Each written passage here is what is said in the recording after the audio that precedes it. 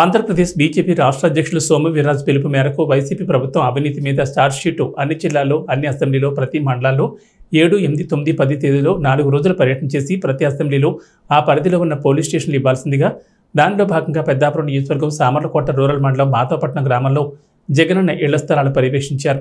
కార్యక్రమంలో ముఖ్య అతిథిగా అసెంబ్లీ కన్వీనర్ విత్తనాల Venkataramana co convener Cheruku Ravikrishna Yuvamorcha Penki Arunaprakash Venu BJP కార్యకర్తలు పాల్గొన్నారు. ఇళ్ళ స్థలాలు ఇచ్చారు. ఇంచుమించు రెండు చెప్తున్నాము. ఏదైతే జగనన్న కాలనీ అని చెప్పేసి సెంట్రల్ గవర్నమెంట్ నరేంద్ర మోడీ గారు ఒక్కొక్క హౌస్కి లక్ష ఎనభై వేల రూపాయలు ఈ రాష్ట్రంలో ముప్పై లక్షల ఇల్లులకి లక్ష ఎనభై వేలు చెప్పిన ఇవ్వటం జరిగింది. ఆ డబ్బులు పెట్టి ఇక్కడ జగన్ గారు కొంత కొంతమంది దగ్గర పొలాలు కొని వాళ్ళకో రేట్ అయితే ఎమ్మెల్యేలకో రేటు రైతులకో రేట్ అయితే ఇలా కమిషన్లు ఒకటి. అలాగా ఈ సోమల పెద్దాప నియోజకవర్గంలో సోమలకోట రూరల్ మండలం మాధవపట్నంలో పదకొండు ఎకరాల భూములు ల్యాండ్ సీలింగ్ ఎస్సీ ఎస్సీల దగ్గర తీసుకొని వాళ్ళ దగ్గర కమిషన్లు తీసుకొని ఇది లబ్ధిదారులకి సరిగ్గా ఒక రోడ్డు కానీ రూట్ అంటూ లేకుండా చుట్టూ ఊరికి రెండు కిలోమీటర్ల దూరంలో సుమారు రెండు కిలోమీటర్ల దూరంలో ఈ సైటు తీసుకోవడం జరిగింది.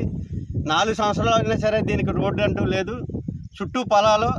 దీనివల్ల ఇక్కడ ఉన్న వ్యవసాయం భూమి కూడా పూర్తిగా నష్టపోతున్నారు రైతులు.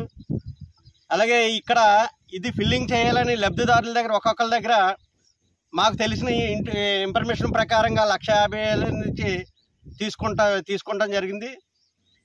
ఇది ఫిల్లింగ్ చేయాలా? మేము పే- చేస్తామని చెప్పేసి లక్ష యాభై వేల వరకు సుమారు తీసుకుంటాం. పాతిక పాతిక వేల నుంచి లక్ష యాభై వేల వరకు తీసుకుంటాం జరిగింది. దీన్ని పూర్తిగా ఈవేళ ఏదైతే మూడు రోజుల పర్యటన ఉందో ఛార్జ్ షీట్ ప్రభుత్వం మీద ఛార్జ్ షీట్ మా సోము వీరజ గారి ఆధ్వర్యంలో మూడు రోజులు ఏడో తారీఖు నుంచి పదకొండో తారీఖు వరకు మూడు రోజుల పర్యటన ఉంది. అసెంబ్లీ మొత్తం అంతా మేము సర్వే చేస్తున్నాం. ఈ రాష్ట్రంలో మొత్తం అన్ని అసెంబ్లీ కూడా సర్వేలు జరుగుతున్నాయి. దాంట్లో భాగం ఈవేళ మాధవపట్నం విలేజ్లో మేము వచ్చి ఇక్కడ ఎంక్వైరీ ఎంక్వైరీ చేస్తే లబ్ధి లబ్ధిదారులు చాలామంది ఏదో ఇల్లు కట్టుకుందాం అనుకున్నాం. మోడీ గారు ఏదో లక్ష లక్ష ఎనభై వేలు ఇచ్చారంటున్నారు స్టేట్ గవర్నమెంట్ ఏదో ఇస్తుందనమో అనుకున్నాం. అది లేదు మా దగ్గర తిరిగి మళ్ళీ డబ్బులు తీసుకున్నారు. మాకు ఏ విధమైన ఇప్పుడు ఇల్లు లేదు అద్దెలు కట్టుకోవడం కూడా మేము కట్టుకోలేకపోతున్నాం అని చెప్పి చాలామంది మా దగ్గర మొరపెట్టుకోవడం జరిగింది. దాంట్లో భాగంగా ఈవేళ ఛార్జ్ షీట్ విషయంలోని ఈ సర్వే చేయడం జరుగుతుంది.